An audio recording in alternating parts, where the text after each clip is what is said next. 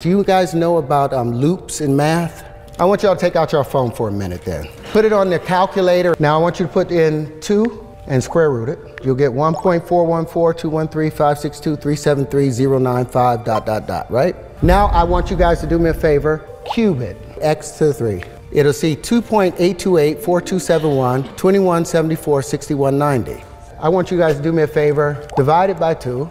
Get that number, cube it again, and I want you to do that until the end of your lives. And that number will still come up with 2.828, 4271, 2174, 6190. Any other number above 2 that you put in and you cube and divide by 2, by the sixth operation, it has moved into an exponential number that you can't even imagine. Any number below 2 that you do that same operation with, it will go into an exponentially small matter and number. This is what we call a loop. It doesn't make sense and it does not make math make sense.